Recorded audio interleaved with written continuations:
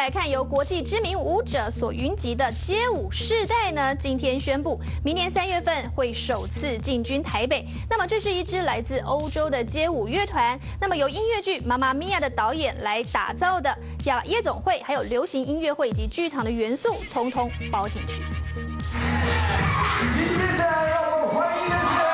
来自欧洲的 Blast 街舞世代霹雳舞者 Jay Z Gibbs 用他精妙的武艺宣告 Blast 明年终于要来台湾了。Uh, that shows all the uh, forms of street dance. So that is uh, locking, uh, popping, hip hop dance, and uh, also break dance. 街舞世代的导演安东尼·凡拉斯特就是音乐剧《妈妈咪呀》的导演。他号召剧场、街舞和流行三大领域的人才，由七位编舞家创作出一个半小时的街舞世代。